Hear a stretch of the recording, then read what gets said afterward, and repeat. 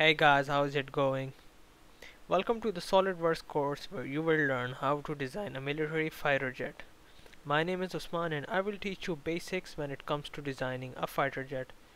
I am a graduate with interest in aerospace technology. Now this course is designed for anyone who always wondered how basic 3D modeling is being done by SolidWorks. After completing this course, you should be having a basic concept about fighter jet designing this course uses single part drawing method and everything is done step by step in order to avoid confusion. The lectures are short and easy to understand so you don't get lost in the process of designing. The aim of this course is to provide you basic knowledge regarding 3D modeling. When I first started learning about 3D modeling, I've struggled a lot due to no guidance or tutorials that were based on jet designing. So I then took this initiative to guide you with all the necessary tools you need to know before starting your own designing.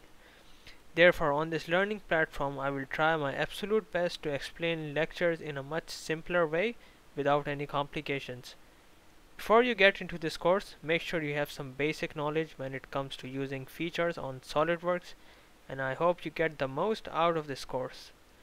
Feel free to look through the course description and I look forward to seeing you inside. Don't forget to rate my course and refer it to anyone that can benefit from it. Have a nice day guys. See you.